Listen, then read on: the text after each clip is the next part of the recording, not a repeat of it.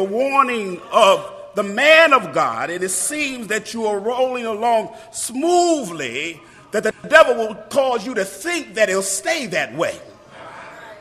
Are y'all with me here? But, but, but I have come to serve somebody notice that it didn't take long before the storm came. Everything was looking good, but it didn't take long before the lightning began to flash. It didn't take long before the thunder began to roll. And I just wonder if there's anybody in this room, it seems like your life has been sailing smooth along. Seemed like everything was okay. Seemed like you had money in the bank. Seemed like everybody was on your side. But you see, discovered that in the blink of an eye, that a storm had risen in your life. You don't even know how it came. You don't really know what direction that it came in. All you know is that a storm. I need some storm folks here today.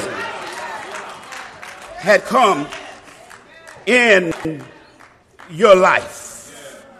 I believe that if if if if if, if that, that that if we would learn how to listen to God sometimes that some of our situations that we find ourselves in could, could be avoided. Are y'all here?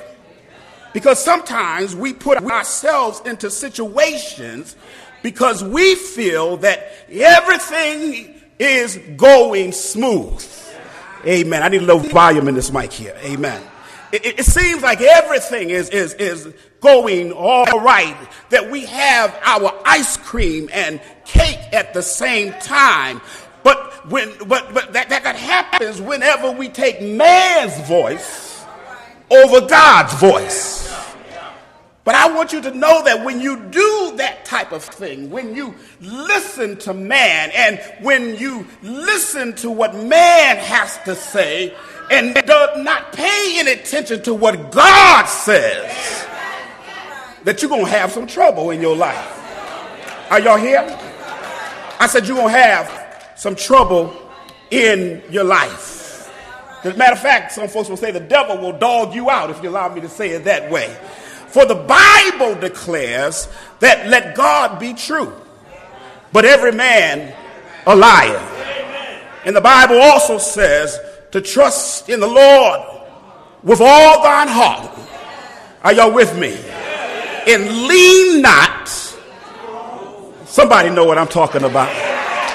To your own understanding, but in all thy ways acknowledge him and he will.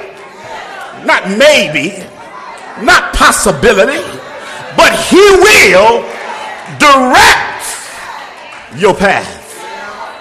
Somebody tell your neighbor, only trust him. Only trust him. But the part that makes me just give God all the glory and honor is that God, now get this, still gave Paul a word after the storm had taken place. Y'all didn't hear me here. So somebody said, So you mean to tell me that, that God can still give me a word even when I didn't follow directions the first time? Even though I'm going through a storm, that God still has a word for me? Even though I'm suffering, that God will still speak to me? And I say, Yes!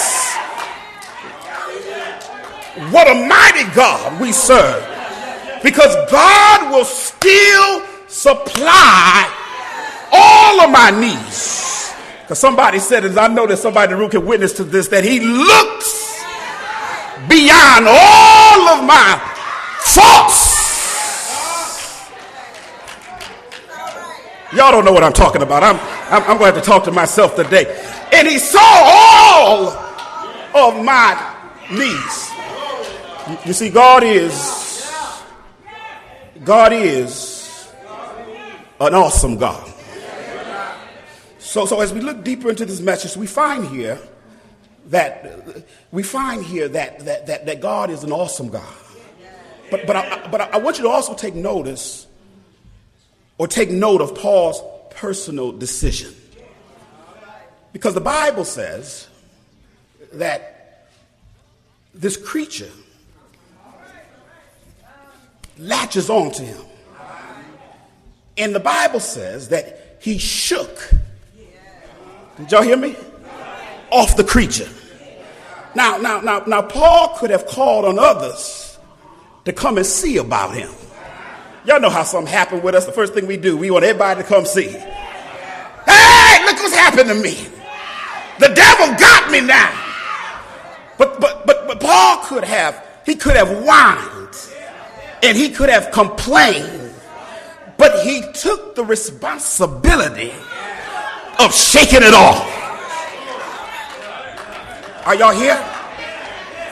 And my brothers and sisters, we as saints need to learn how to take responsibility for what happens to us. And, and I, I know that you might not be able to control the snake jumping on you, but you do have a choice in how long you're going to let it hang on to you.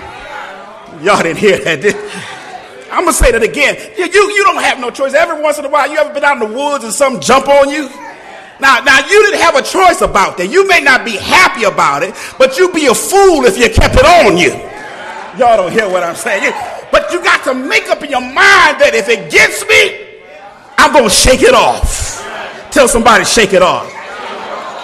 And I, and I believe that that is what, what many of us face is that we don't know when to let go. You got to get in your mind that I can't be hung up on what he says or she says mess. I can't be hung up on depression. I can't be hung up on oppression. I can't be hung up on distress and poverty and long suffering. But there has to be a breaking point in my life where I to take responsibility and say it's time to dust, to shake off the dust from my feet and keep on moving on.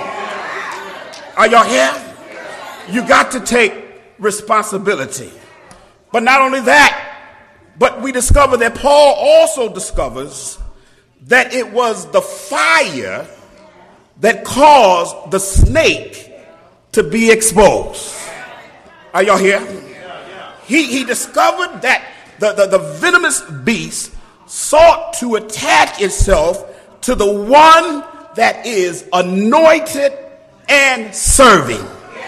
And you got to understand that the anointing does not only attach good things, y'all not here with me, but it also brings some bad things. Y'all, y'all didn't get that, did y'all? Because some of us think that because we're saved and because we're sanctified and because we go to church that, that nothing's going to happen to us. But I tell you, when you're saved and when you're sanctified, there's some things that are going to come your way sometimes that you're not going to like in your life. Are y'all here? I said, are y'all here? I, I believe I will say that again. The anointing attracts good things, but also attracts things that will try to trick you into seemingly being good but I want you to know that it is just the setup from the devil just to get you off track. It's because of my anointing. And don't you know that some of some of them thought that that that when when when this venomous creature had attacked Paul, they said he must be a sinner. Said he must have done something wrong. That that that, that there must be some great sin and God is punishing him for what you have or what has happened in his life. And you know, if you have people even in the church that, that think that a lot of times that when you are going through a trial or that when you are suffering, that you're just reaping what you're sowing or that you have done something in the past but I've got a message for somebody today. I come to serve somebody. Notice that just because I'm broke, just because I've got some problem, just because I'm got some things happening